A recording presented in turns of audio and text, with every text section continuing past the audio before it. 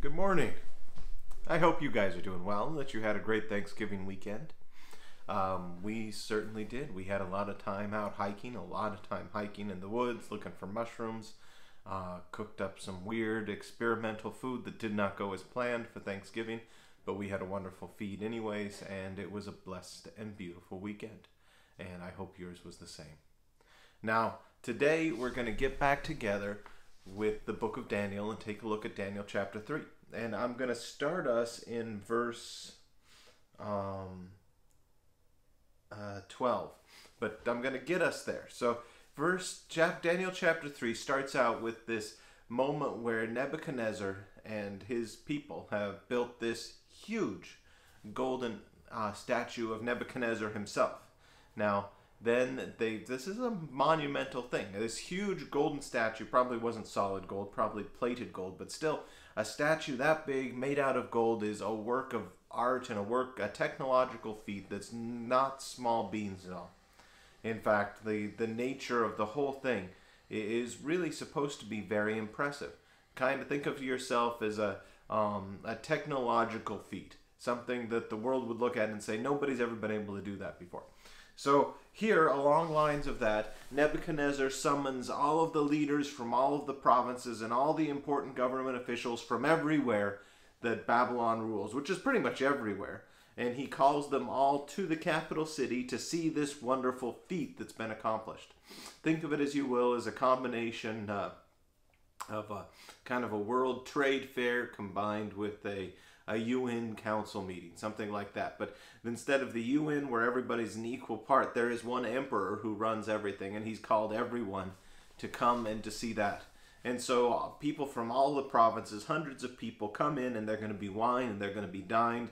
To, they're going to be impressed by the grandeur of Babylon and they're going to be sent home to tell these stories and to tell the people who they serve and who they rule over how great Babylon is, as a reminder and as a warning to them uh, not to mess with Babylon. Now, at the height of this is the worship of this image of Nebuchadnezzar. Now, remember, Nebuchadnezzar isn't actually a god, but what he is, is he's the high king of Babylon.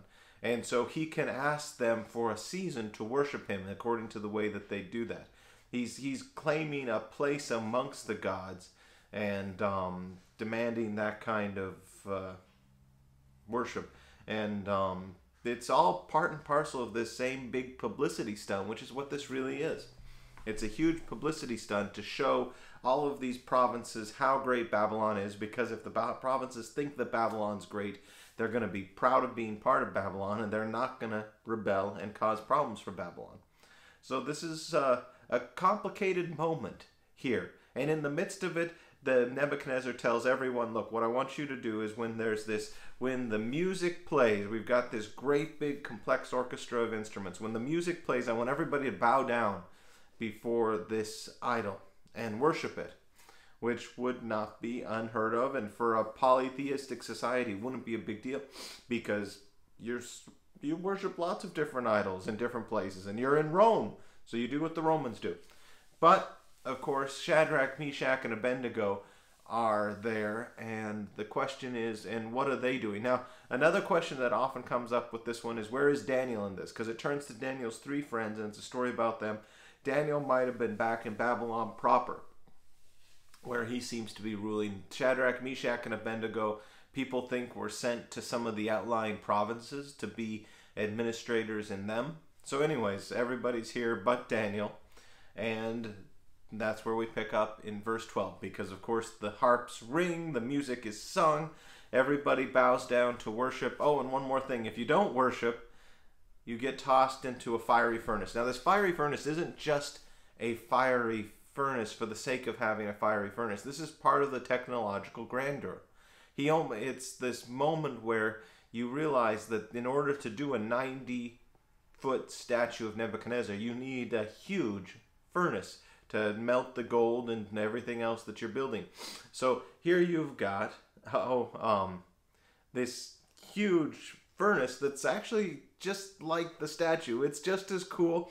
It's just a technological feat, and he wants everybody to see this furnace, this incredibly hot and dangerous furnace because it's so much a proof of the technology of Babylon. So anybody who doesn't worship gets tossed in the furnace. Ah, there you go. That draws attention to the furnace. But of course, Shadrach, Meshach, and Abednego, these Jews, starting in verse 12, who have you have set over the affairs of the province of Babylon, Shadrach, Meshach, and Abednego, who pay no attention to you, O king. They neither serve your gods nor worship the image of gold you have set up. Furious with rage, Nebuchadnezzar summoned Shadrach, Meshach, and Abednego.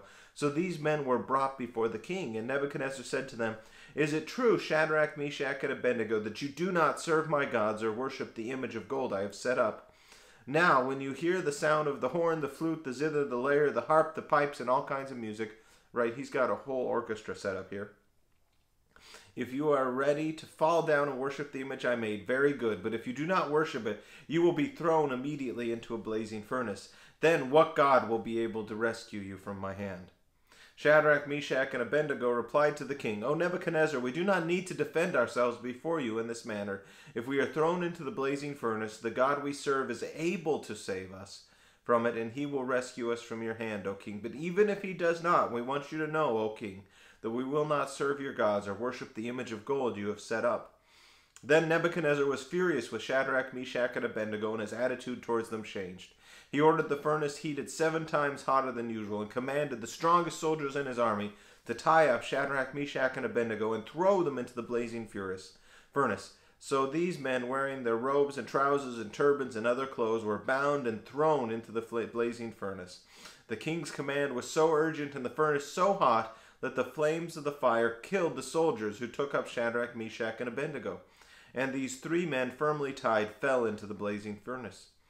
When the king, then the king leapt to his feet in amazement and asked his advisers, Weren't there three men that we tied up and threw into the fire?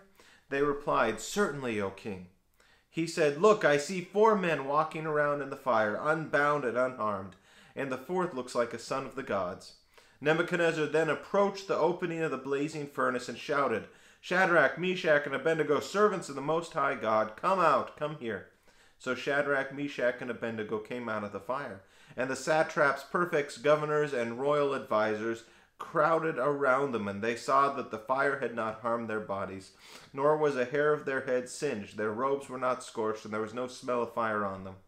Then, then Nebuchadnezzar said, Praise be to the God of Shadrach, Meshach, and Abednego, who has sent his angel and rescued his servants. They trusted in him and defied the king's command, and were willing to give up their lives rather than serve or worship any god except their own God. Therefore, I decree that the people of any nation or language who say anything against the God of Shadrach, Meshach, and Abednego will be cut into pieces and their houses turned into piles of rubble, for no other God can save in this way. Then the king promoted Shadrach, Meshach, and Abednego. Okay, so we've got this image, and it's important for us to pick up on the story that Daniel is telling here. So here's the faithfulness of these men who understand that they have been called to worship Yahweh, even though they're in a foreign land. They've seen that Yahweh is the God who provides, the God who's know all who who gives knowledge, and the God who controls history. And of course, that plays into uh, Nebuchadnezzar's great big golden idol as well, because that was his vision. His vision was of a great, the vision God gave him was a vision of a great big statue of himself with a golden head on top. And so now he makes a big golden idol of himself funny how we take these things and we twist them. And so he twisted it into this kind of self worship thing.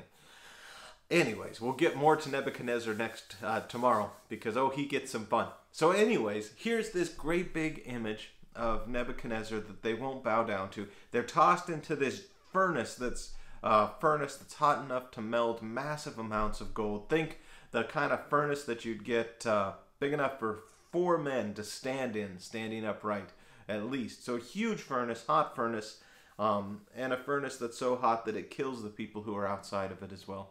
They're tossed into the furnace and they are not consumed. God protects them, and not only protects them, but He reveals Himself to them and to Nebuchadnezzar in the midst of the fire.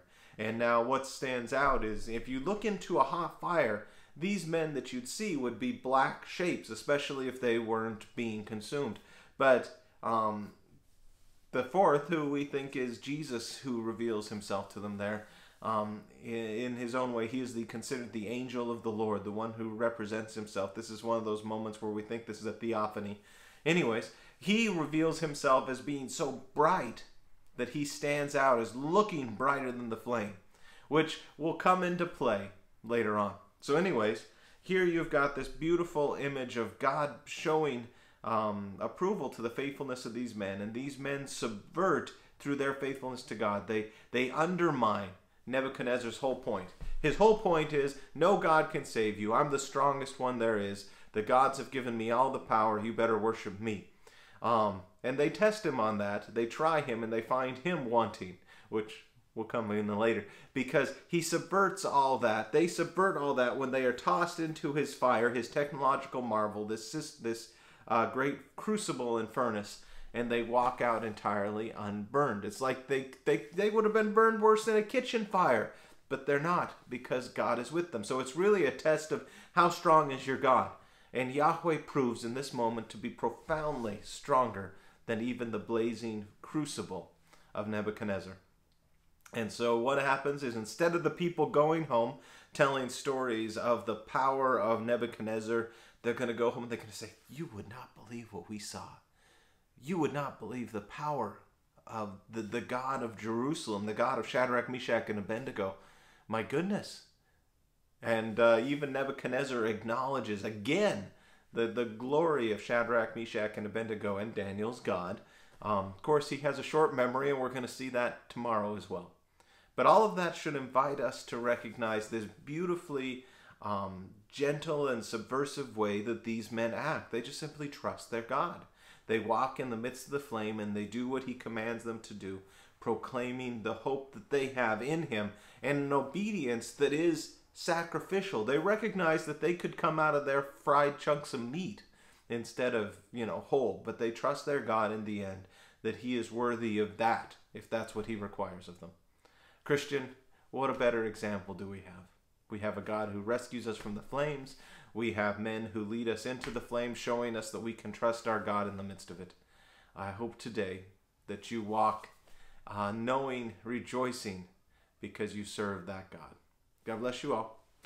Let's pray. Father, we praise you so much for the way that you love us and you care for us. We thank you, Father, for your glory. And we pray, Lord, that you would give us the words, as Paul says, when people ask us questions about the reason for our hope and our faith, that we would have confidence to speak as your Spirit leads us, that we might proclaim the hope that we have in Christ. We pray, Father, that we would walk in the midst of this world, um, being here but not being part of it, but strangers in a strange land, called to a kingdom that is not our own. We are here as ambassadors. May we proclaim the hope we have in Christ, trusting in Him today. Well, friends, I hope that you have a blessed and beautiful day. I hope you enjoyed that story. It was on the longer side, but um, it's a big one, and I wanted to get through that whole chapter today instead of dividing it. So, uh, thank you for hanging out with me for that whole one. I'm excited for tomorrow already. Woohoo! We'll see you then. God bless you all. Bye bye.